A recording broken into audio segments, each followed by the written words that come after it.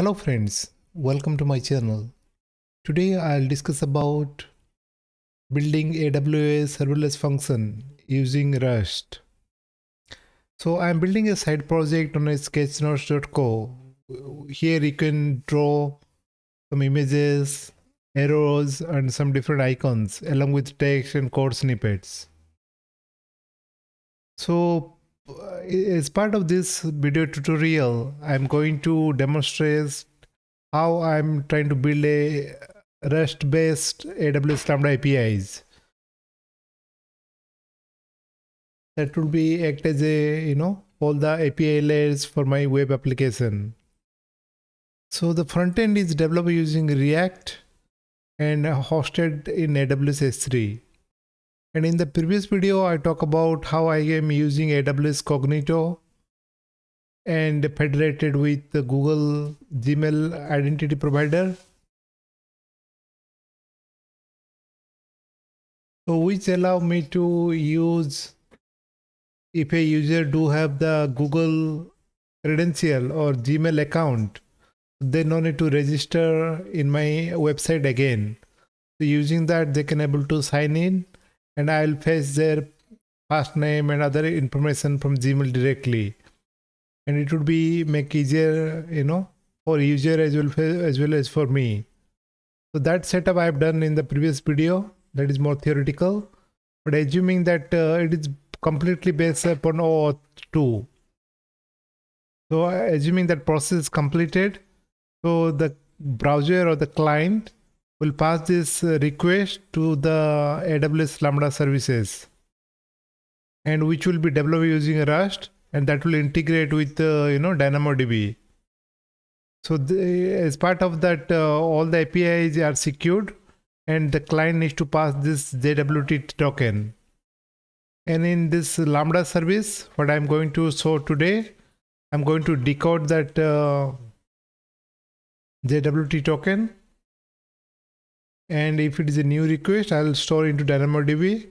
If it is a get request I'll fetch it the information from DynamoDB. One disclaimer I would like to put before I proceed to the next section that as I'm uh, building this uh, new application I'm learning the Rust as well so I'm a bit new to Rust. So I may not follow all the best practices and I do some incremental development as per my need. So um, there are some assumptions I'll make and I may not go very secure path in the MVP stage because the JWT token what I receive just to in the initial starting phase I'm just going to decode it. but I may not uh, do more secure way of uh, uh, retrieving the token and authenticate again against this uh, AWS Cognito that I may do in the future. Whenever I go to the stage, I'll discuss about that. So please keep in mind that as I'm developing, I'm trying to source my in progress application. So in future, I may change it. So that keep in mind. So let's get started. Uh, this I already created uh, my lambda function in AWS console. This is sketchnotes.rust. The main motivation I'm uh, having for myself to choose Rust is its uh, very less memory usage. you can see that uh, it is like 128 MB the menu, the starting configuration I have chosen, but the memory usage by Rust is only 16 MB or 17 MB and uh, for each request it is taking 30 to 40 millisecond. So the build duration also very less. So using the rust so we can be very faster as well as i can save some money.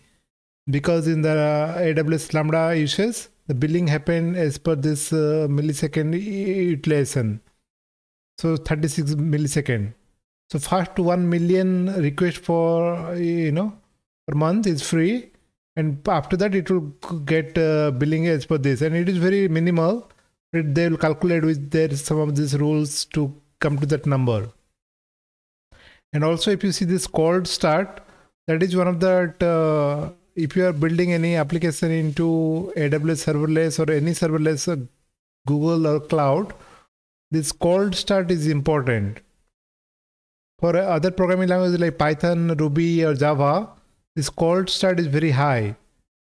During this, because your AWS Lambda container is not running for all that duration 24 hour.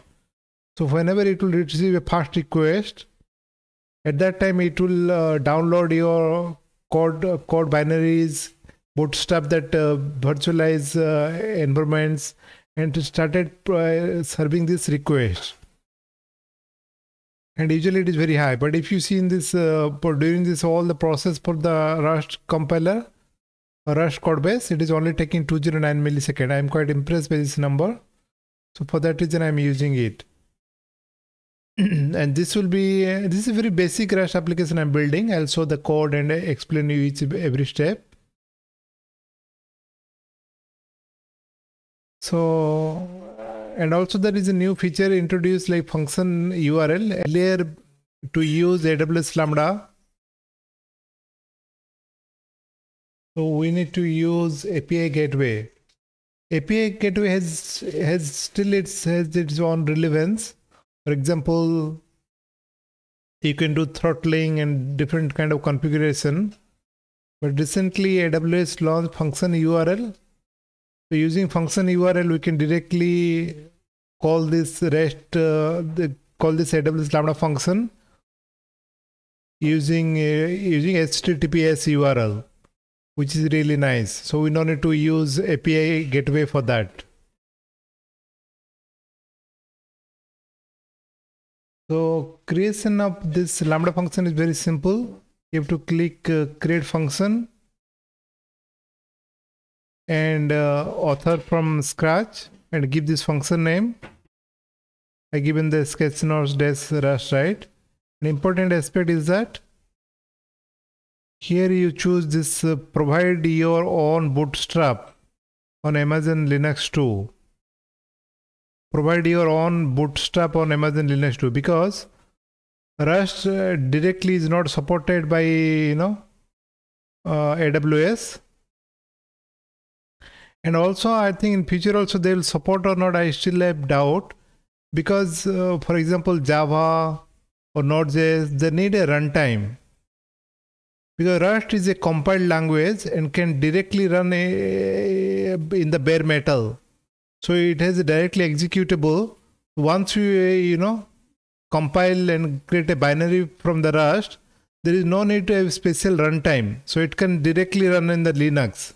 But for Java, Java can't directly run that exe code in a you know Linux directly. So they need JRE or JVM to execute. Similarly, in Node.js, JavaScript code can't run it directly in Linux or Windows.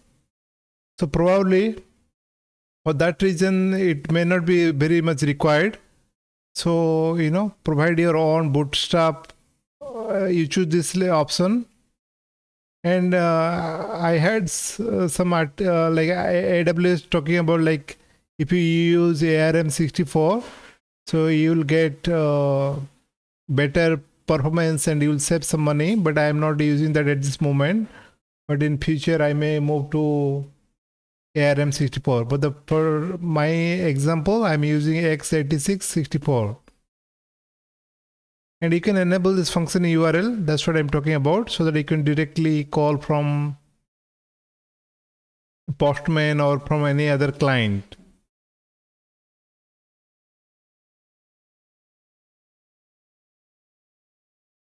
And this uh, no other uh, configuration is needed. And one more important thing you have to do the execution role so uh, you can choose this default option but once it created a execution role you have to change and give permission to your dynamodb table where you are going to insert and uh, you know uh, retrieve that element so I'll show you DynamoDB, but you need some basic uh, understanding. I believe that uh, if you're planning to create a AWS Lambda function, you have some basic understanding about IAM roles and DynamoDB concepts. So if you are not sure, please drop me a comment. I'll uh, create another video for the, that area also. Today my intention is to cover more on the Rust side. So once we create this function, then we'll go to this uh, rush part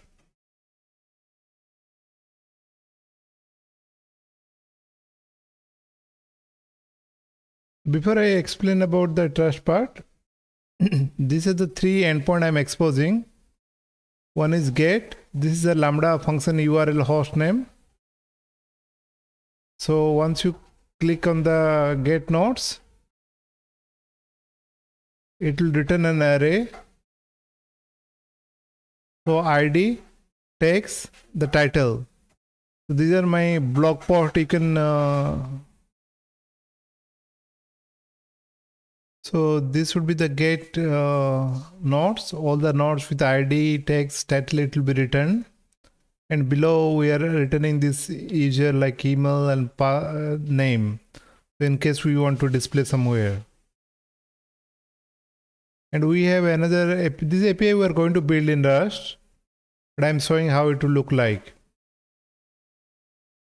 So uh, this is a post request and the same nodes URL here uh, this ID so the ID I'm debating myself to generate in the client or in the server side for the, time being I'm generating in the client side so assuming the client will generate this ID and pass it to server but maybe in future I'll change it.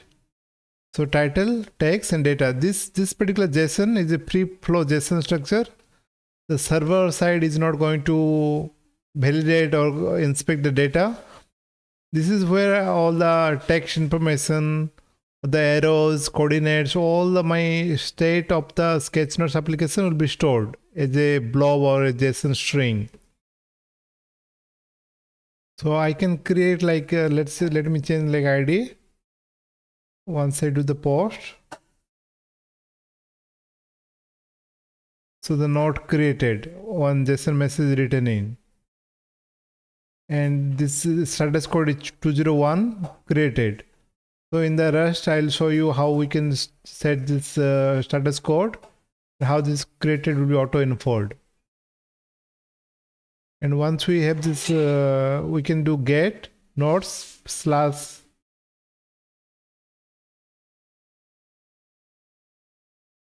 so nodes and nodes id if you do that so you'll get the result like title users and tags and data and one important thing is that all the apis you have to pass this bearer token or you can if you see this authorization authorization header, bearer, and the JWT token. This ID token you have to pass. If you don't pass, if you pass wrongly, so it will throw some error. 401 unauthorized and with some message invalid JWT token. So this JWT token you will get from AWS Cognito.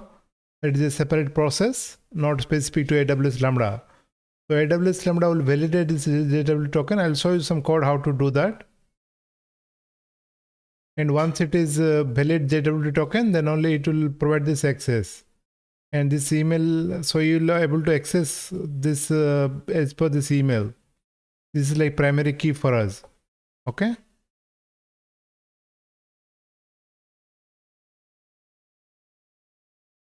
Now I'm not going to very basic step of uh, how to bootstrap a Rust based project. I created several tutorial for that. So it is a simple cargo new project you can create and uh, specific to AWS Lambda. So you have to install a full cross compiler toolchain, musl okay and you have to link this uh, this tab this linux musl gcc to this bin musl gcc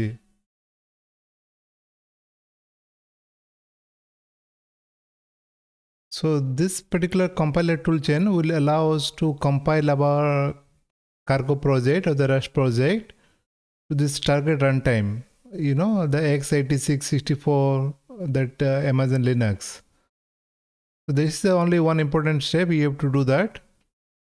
And after that in the dot cargo file, we have to specify this linker as you know uh, this musl GCC.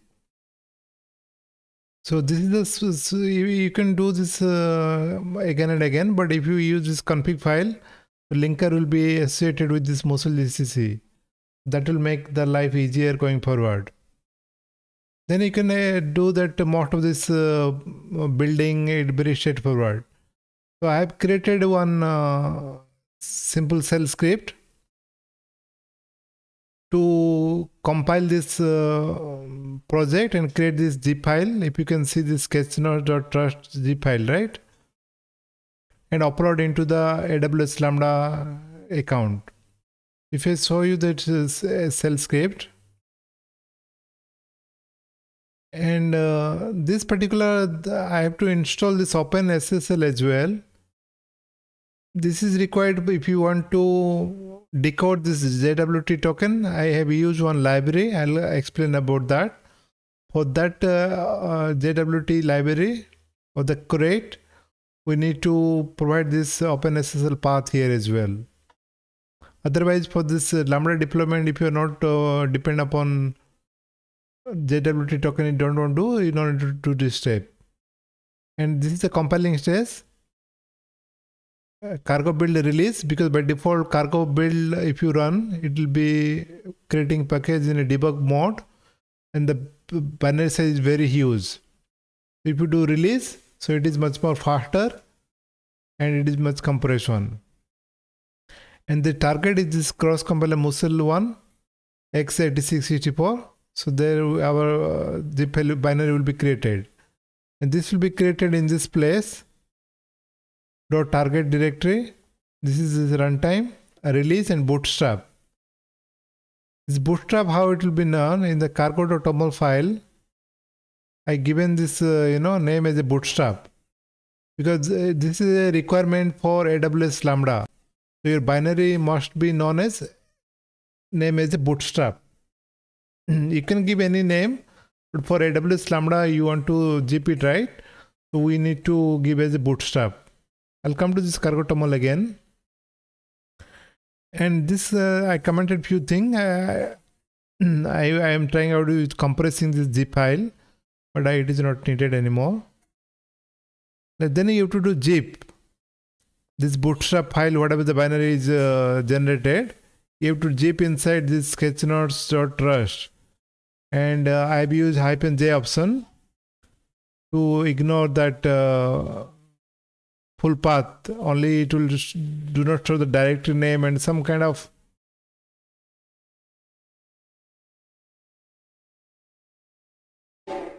setup stuff and this is the aws lambda command so this is the aws lambda command update function code the function name region and the zip file name so this is a simple shell script. If you run it, it will compile it, create a zip again and upload into Lambda.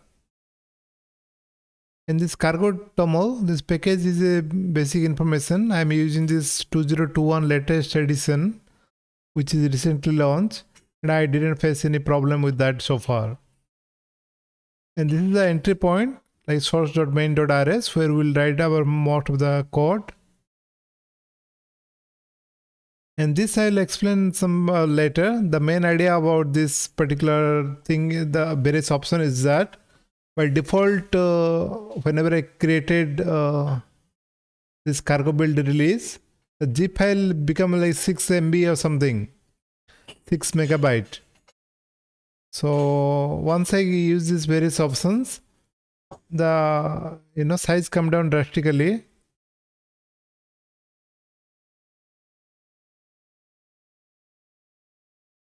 So if you see here, the size is 1.8 MB.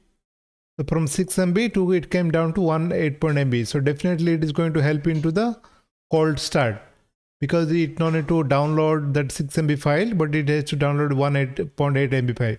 This is one of the big complaint if you're using Rust because Rust, you know, how to minimize this uh, package size because if you are writing javascript code something the size file size would be much more smaller you can reduce but you have to install the runtime again for that but here this is a, about the binary we don't need to have separate runtime and with this 1.8 MB also, the there is not significant penalty because AWS Lambda is able to fetch this file very quickly. Whenever you upload, this particular zip file will going to upload into S3 bucket.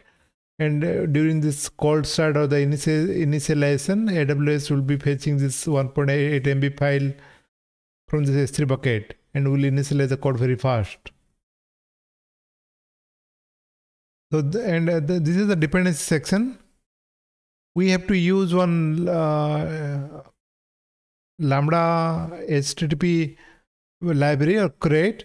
This is the Lambda runtime for Rust created by AWS Labs only.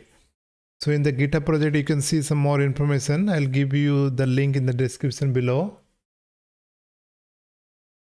And this uh, is one very popular library if you're working with JSON or any API, so they will provide the serialization or deserialization capabilities. Whenever you send the request to the Rust, so Rust follows some different types. So the JSON to Rust type and Rust to JSON type. That conversion, this serde is very comfortably providing the capability. We are going to use this serde very heavily on this project. And there are few dependencies related to AWS types config and DynamoDB because we are going to integrate with the DynamoDB. And we need a async runtime because all the code we are going to write for AWS Lambda is async, not sync. So we need a, a by default Rust doesn't come with the async runtime. Like in Node.js, you don't need to download separate runtime for that but this is not exactly any impact into the uh, not like JDK or JRE runtime or the uh, not this runtime. This is like uh, no runtime impact. It will helpful in the compile time only, and it will uh, provide the support for that uh, uh, support for that to execute this AWS async code. We need Tokio. Tokio is quite popular, but you don't need to know much information about that I'll explain it is relevant. And J, JWKS client, it has a different functionality, but I'll try to use a simple functionality for it for, for decoding that uh, JWT token. So I'm not going to do super secure way of authentication. I will get the JWT token. JWT token usually base 64 encoded. So I'll just decode that information and uh, make sure that uh, whatever the information I'm looking for is present, email and given them or not. And once it's done that, I can say the token is all good. If I'm having some difficulty into getting those token, I'll throw some errors. Now let's uh, discuss about some code. So in the source directory, you will write the code. Initially it started with main.rs but slowly I split it into multiple files. So you can also start your uh, initial program from one file then you branch out. And I am also refactoring code as I go. So don't take this uh, code style and as, as part of the best practices because I'm learning in the Rust and also I'm uh, taking some easy way to approach the Rust instead of uh, using all the performance tuning and all the best practices from the Rust development practices. I'm not following that. Let's get started. this main.rs file is the entry point and initial section we have some imports and this uh, uh, this mod and this is a file name what are the internal files I've created in the left hand side. So I'm importing all modules and these libraries. But the important section is this one.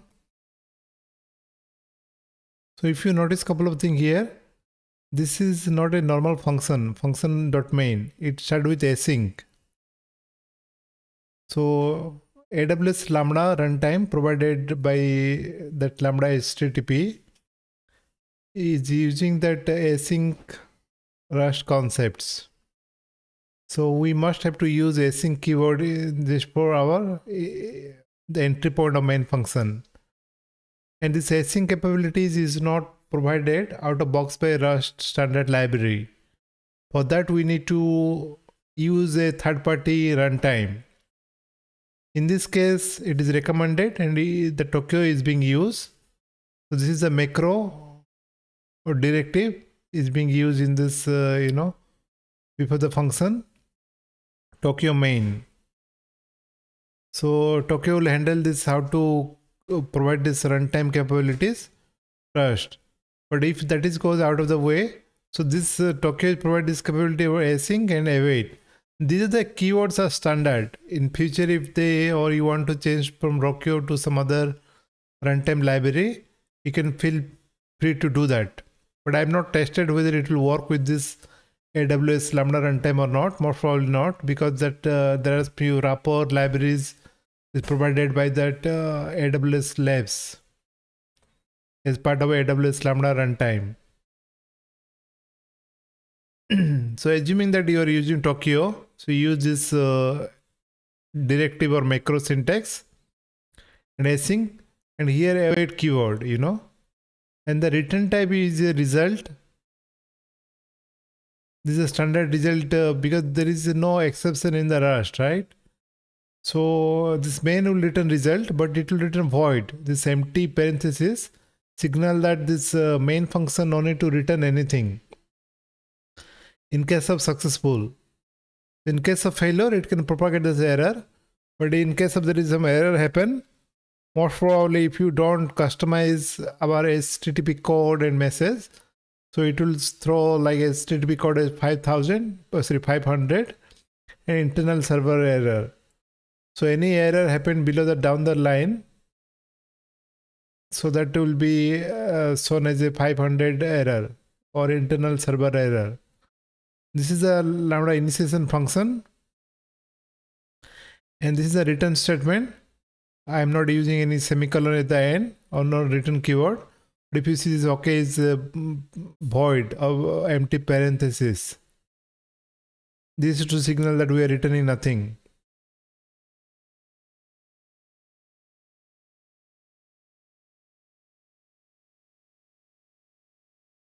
so the entry point is this lambda run this is a run function.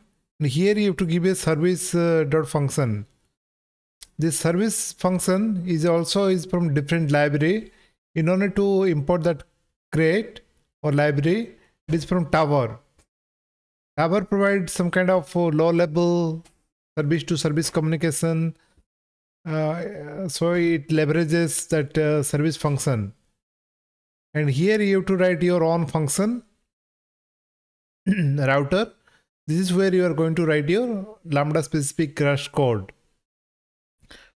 And because this run particular function is a async one so you have to await to wait for that response. And if there is a this question mark transfer if there is an exception it will propagate that error to that caller function in this case main this uh, await uh, is actually let me explain about this async concept a little bit.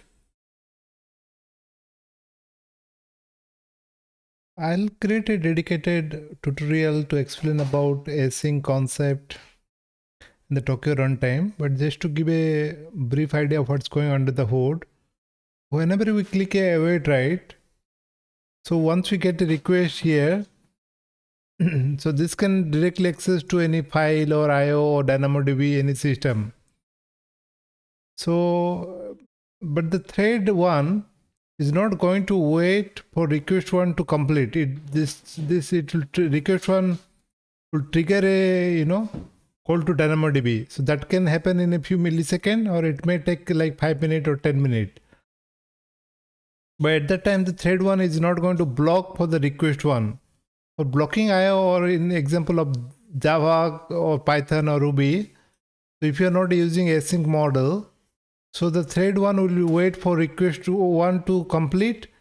It go to the IO system or network IO to get this response and pass it across. So it can't serve request two.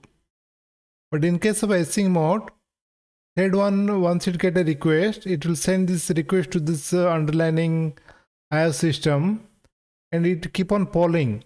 This polling you no need to do as a application developer. That's why this Tokio is coming into the picture.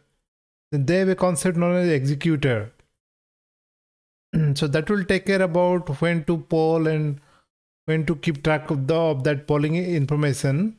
So whenever the request is ready it will inform the third one so that you know the request one can also complete and send the response back so when this request one the, when the response is not coming to the picture the thread one is feel free to process or serve this request for request 2 so request 2 also receive it does some kind of transformation and send a request for the underlying IO system.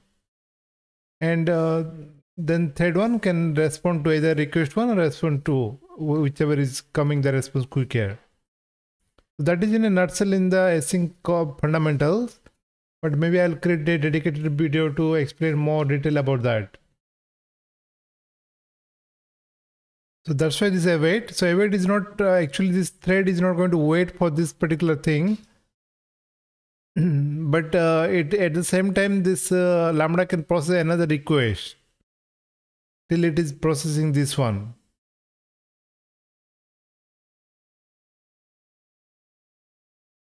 so this is the router function this is also a async function. Here uh, we can pass the signature is looks like this. It takes request as an input argument.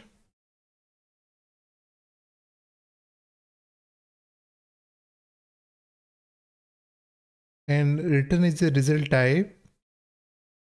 So if it is successful you pass some subtype of into response if it is failed you return a error type. This into response is a trait. Uh, trait is a kind of interface or kind of uh, you know abstraction layer. It talks about like what are the functionality that uh, your concrete object will have. So this this makes very easy to integrate with that uh, you know serde because serde we can pass like serde object i'll show you in a second but the serde of json object we can create and we can return as a response. so this into response is a part of a lambda HTTP, you know. Uh, this uh, runtime provided by AWS Labs. And here, uh, if you want to return this JSON value, so then it will be compatible with that IMPL into response. And we can get in the browser, you know. The example I have shown you, right? this structure, this is JSON structure, we can directly return from here. And if you see here, this is the value I'm talking about. So we can create like this kind of JSON structure and we can simply return it. This would be compatible. And the, uh, coming below, so here we have initialized our variable with using JSON macro. This JSON macro is part of serde JSON. And uh, you working with uh, serde JSON is very comfortable because if you know about JSON, inside this macro, you can just use the JSON as it is with uh, string double quote with this key and value and you can uh, if you have some variable you can directly give this variable names so your JSON will be created immediately. I'm using this mutable version because later point of time, depending upon the method, whether it is get, post or some path, I'm trying to, you know, I'm trying to call this.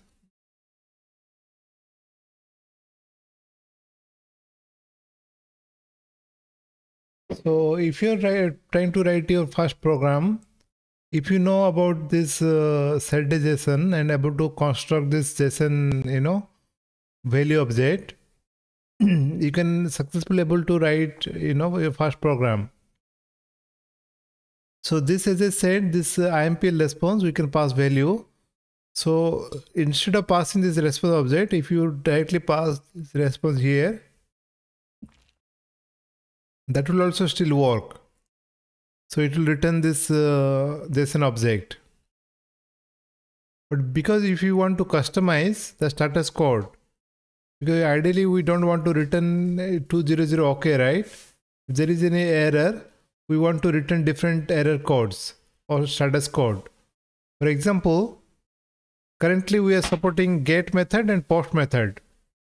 Because if you see our APIs, we are uh, for creating or updating, we are using post. For getting all the nodes, we are using get. And getting individual nodes, we are using get nodes with ID. So we are supporting only post and get. If they're trying to pass like post, put, there are so many different things, we are not supporting those. so for that, right, we are going to return this message method not allowed. And we are, uh, this is 405 status code we have to return. To return the status code exactly, we have to do some, write some more coding here. So this is the response uh, struct available as part of HTTP library. So we are using this uh, HTTP response builder. Builder is a very good common pattern, design pattern in Java or JavaScript in different uh, programming language. You can have this builder pattern. This is just to create a response body type, but slowly, like if you need status, you can pass a predefined status if you don't need it it will assume some default values so status code has one struct which is uh, having all the mapping for that what are the status codes available. If you want to see that.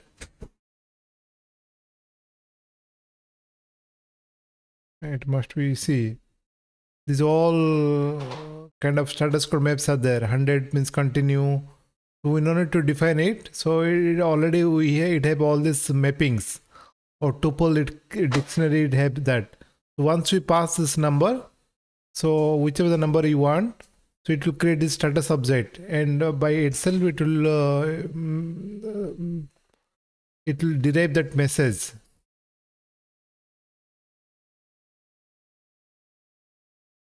So as I said, if you want to return only this response, which is of a serde JSON value, that is also compatible.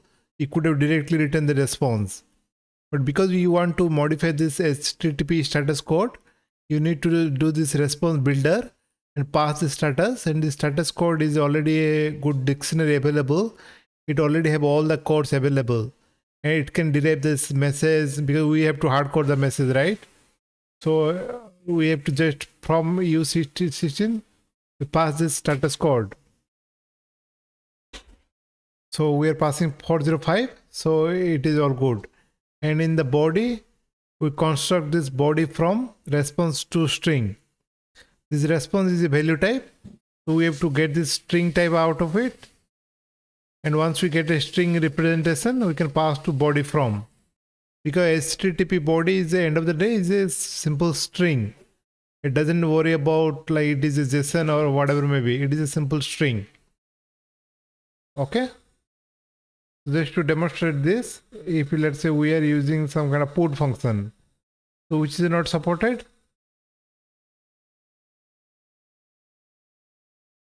see method not allowed because here we given method not allowed message is, is returned and if you see, see the 405, here we are given 405.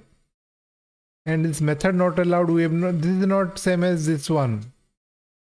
this come from the status code and the dictionary. So method not allowed automatically populated, right? And in this case, this uh, JWT token, we are not doing any checking. So even though you pass it or not pass it, it doesn't uh, bother too much. Delete method not allowed. Okay? But once you are making uh, you know i think this is a get call. So we are going to build like get call or post call. So all the logic we have here like uh, we are doing some checks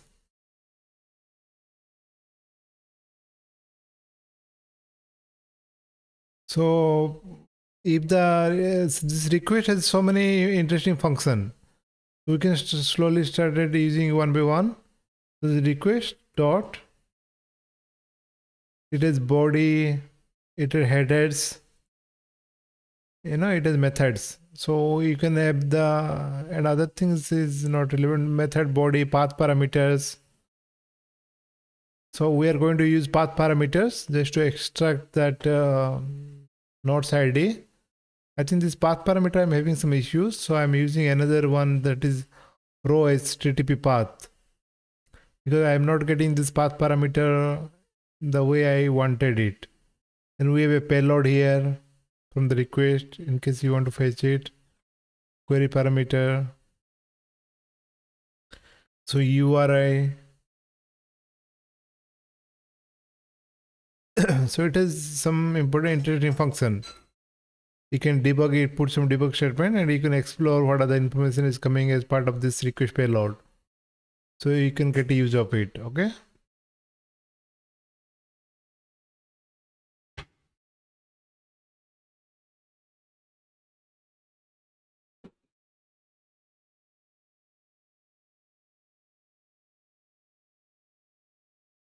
And once we take this method is get or post, we want to make sure that uh, they're passing a JWT token. So this is what this is authenticated method will do. This method is I written. I'll show you what is the logic for that. But uh, in this particular is authenticated method, I'm only checking this JWT token passed or not. It's a bearer token in the authorization header.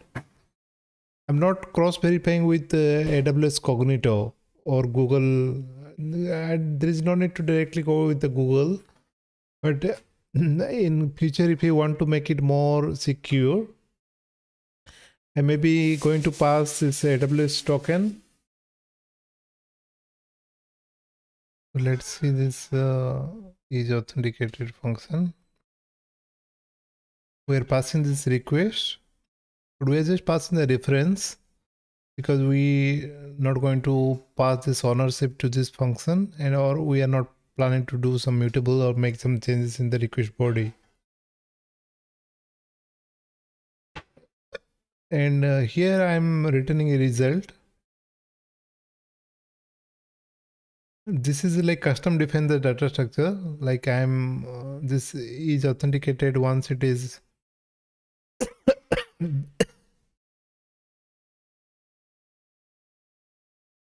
So this I have decided this particular is authenticated method will return some map. Map will have a key value is the email and that value is that actually email and then a, uh, a given name and some value. So this this particular information will be retrieved from this request at the request header author uh, I think authentication or authorization authorization header. Uh, from this bearer token, this two information will be retrieved and can be passed as a result. If those two are present, if we are unable to, and this particular method will call this to decode this JWT token. If it is not possible, it will throw an error. And this error particular object is, if you see this error, it is like lambda runtime error and this error I have created my custom error. If you see here error.rs I'm using the same name. I'm just thinking to use different name or same name but uh, I decided to use the same name only. So wherever I able to catch this custom error I'm passing two messages. One is code one is message this code I'm trying to make it same as HTTP code. So I so that I can change this uh, response based upon this code. If it is server error 500 plus, if it is a data issue from this client, so I can send it 400 plus and so on. Message some relevant description which can make some sense if you read this error and I've not uh, this, this, display trait is just to print some information. And this error implementation is to initialize a error instance. And there are few to getters this is a bit simple one. And I have i have having two macro derive and partial equal partial equal may be helpful in doing this uh, whenever we want to write some test right? So we can compare between two error object. So comparing in the two error object so this partial equal derive will be helpful. So this will compare this code message. I don't need to write my code to compare it you know? So i can compare between two error object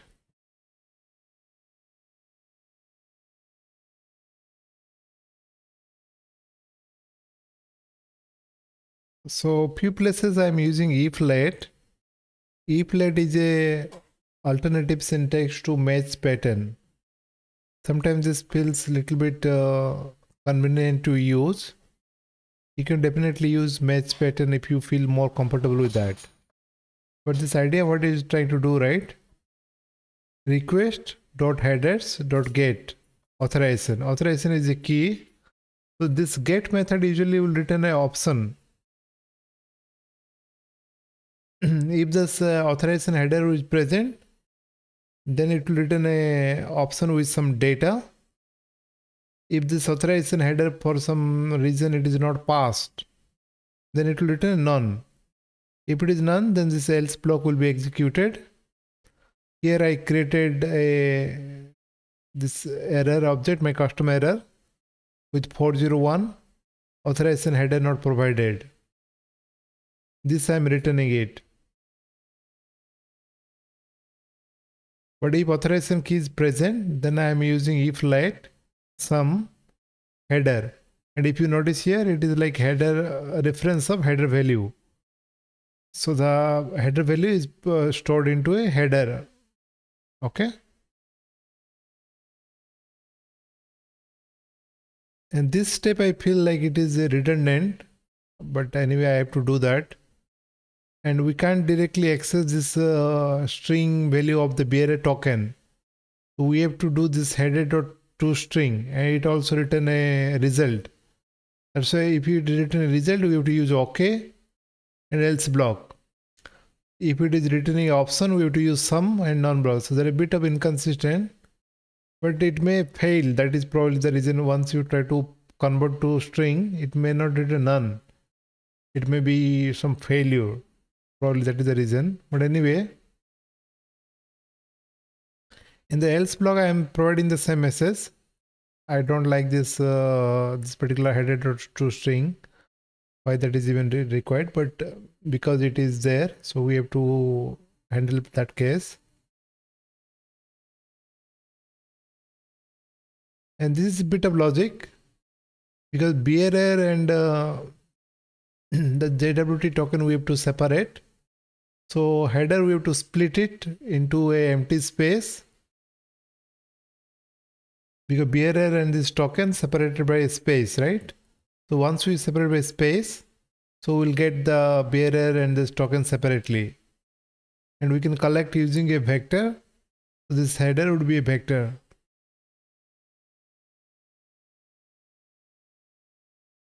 So if that bearer token is passed correctly, ideally we should get two value. Our length should be two, right? First one should be the, the zero index should be the bearer token. The second one should be the index token. The length is not two, whether it may be more or less, it is not a valid bearer token. So bearer token is not provided. see if you see here the status code is same 401 unauthorized but we can change this message to be more explicit or to make more close to the error exactly wherever we are having it.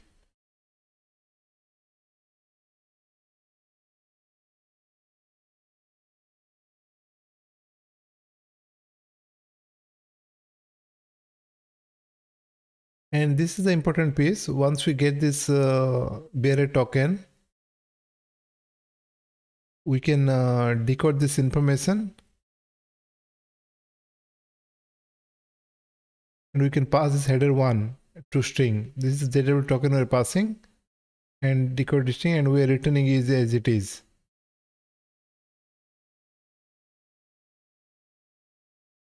I'm not sure why we are not passing OK here. That is one directly the value how it can work the hash map. That is one question I can answer later. But this is there is no semicolon here, so this must be the written thing. so I am not wrapping with the OK. But it is written in this result array. Let, let me see this uh, as maybe, yeah. So this is a function available inside uh, JWT token. So this particular function decode the JWT token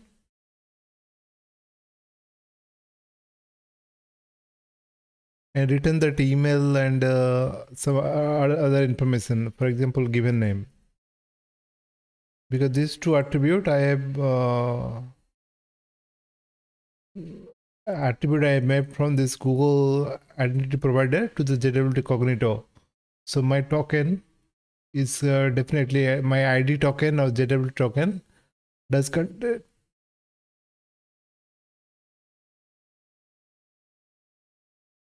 So I'm not going to do some signature validation or expiry validation.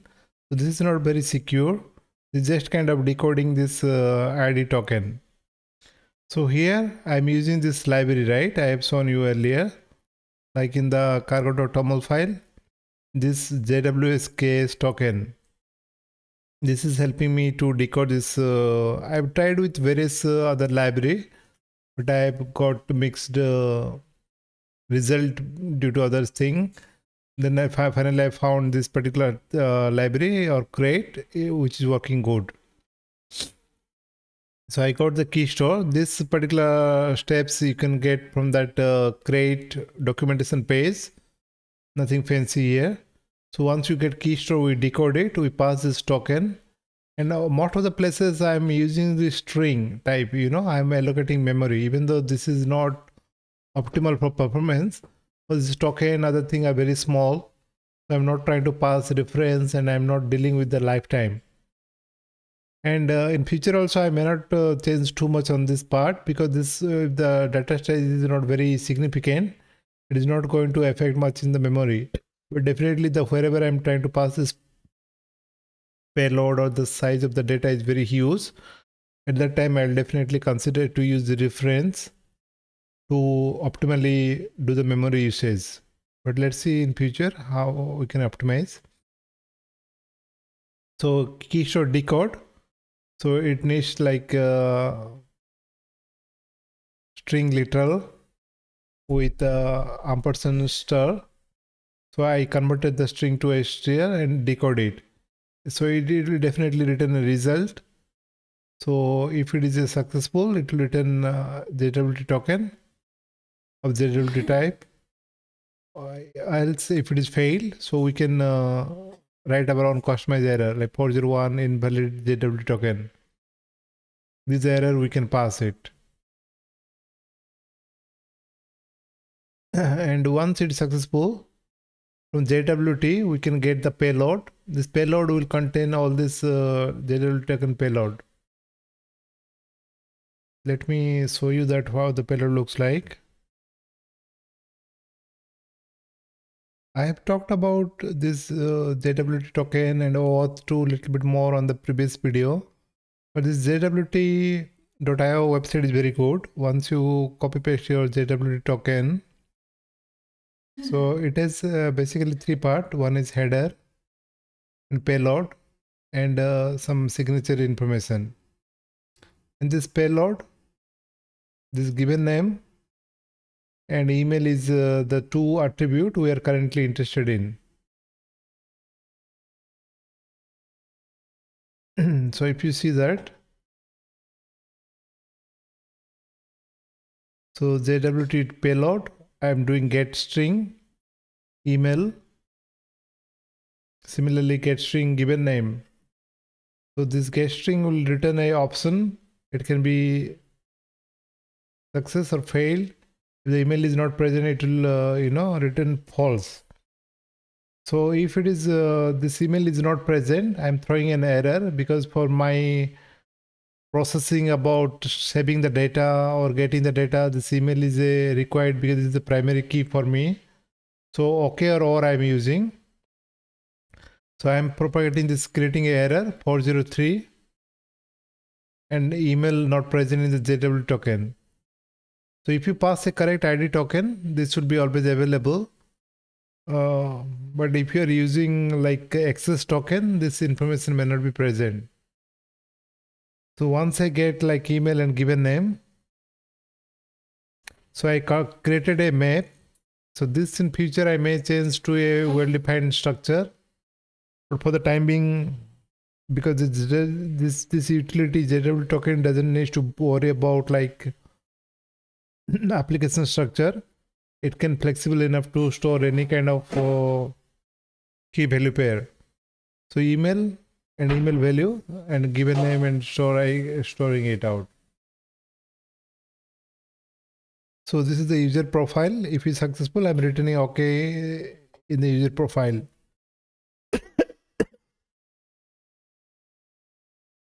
Sorry. so this result has map would be returned.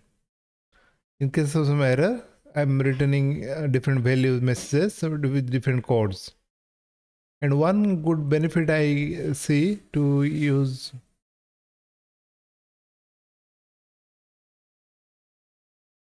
so wherever this function is using because it's lambda sometimes the testing would be a bit painful. Because you have to deploy the code again and again and test it out each and every functionality.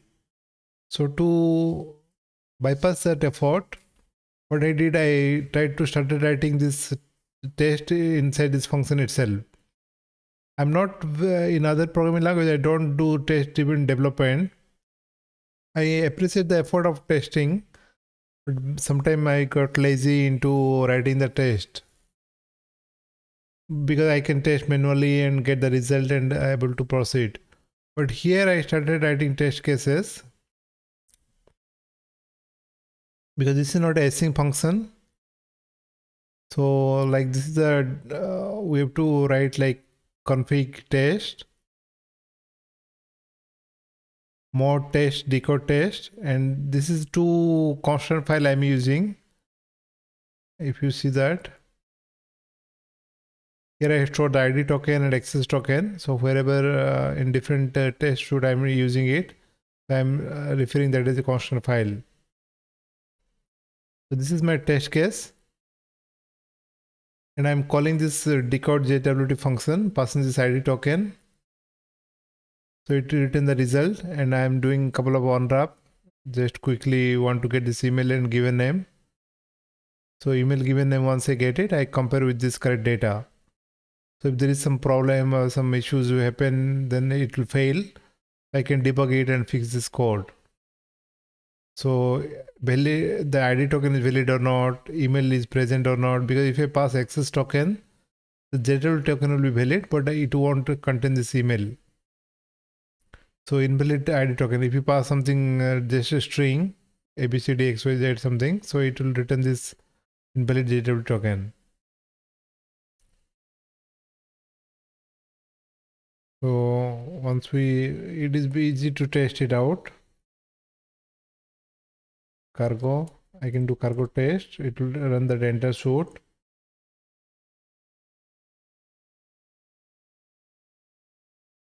So for writing the code even so if you do cargo test and the test module name it executed three tests and uh, return the result. If you do some mistakes here and if you don't compare it properly is expected right? If you let's say make some mistake then it will uh, say that uh, it will fail.